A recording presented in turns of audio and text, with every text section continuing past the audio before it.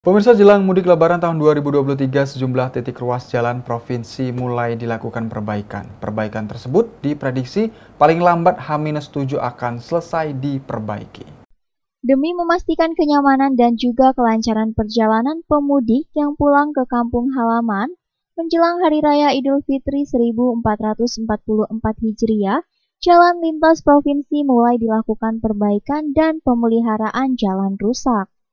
Hal ini dilakukan sebagai bentuk sikap tanggap terhadap jalan rusak maupun berlubang. Adapun jalan yang dilakukan perbaikan yakni seperti ruas jalan berlubang dan bergelombang.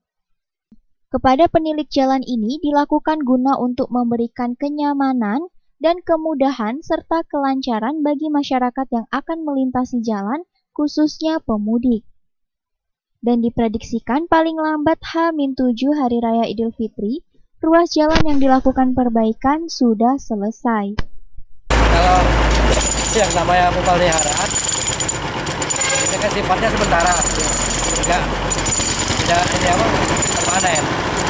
Kalau yang permanen yang agak panas, nanti kan sementara penanggulangan supaya tidak ada lubang. Berarti ini salah satu antisipasi kita untuk mudik biar lancar aman, nah, ya? jangan sampai ada pengemudi sampai gara-gara lubang kecelakaan gitu. Kalau sudah kita tanggulangi masih juga berarti bukan salah kita lagi.